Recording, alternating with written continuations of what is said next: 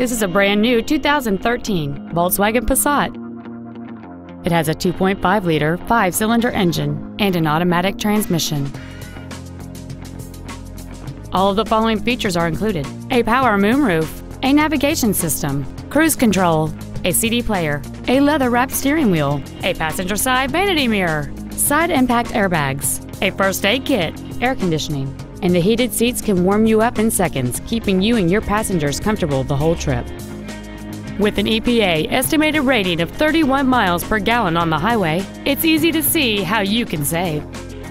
Contact us today and schedule your opportunity to see this vehicle in person.